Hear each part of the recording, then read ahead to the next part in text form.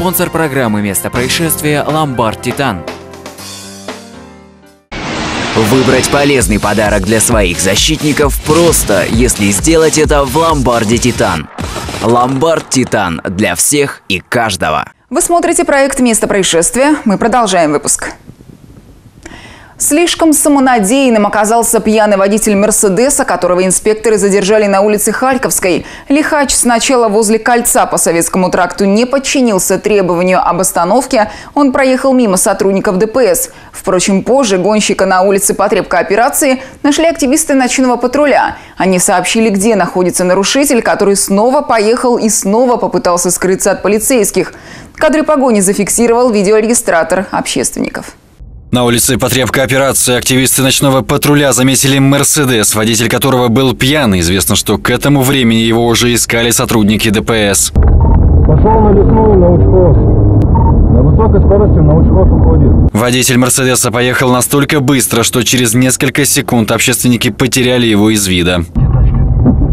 Маленько потеряли, сейчас в чистые пруды уходим. С улицы Лесной Лихач направился на улицу Мостовицкую в Чистых прудах. Мерседес движение начал, Серега. Мерседес движение начал.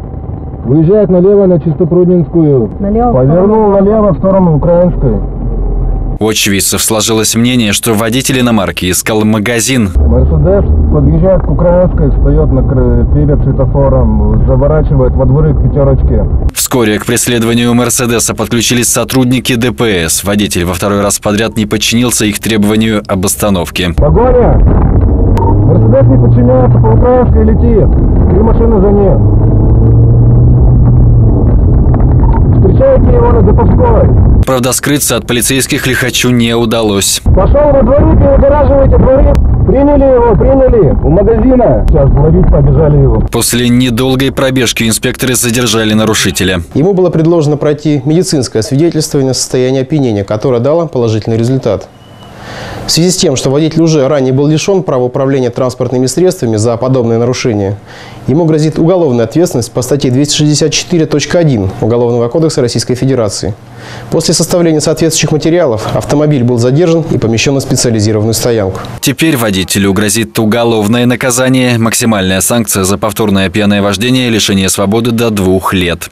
Сергей Пичугин, место происшествия.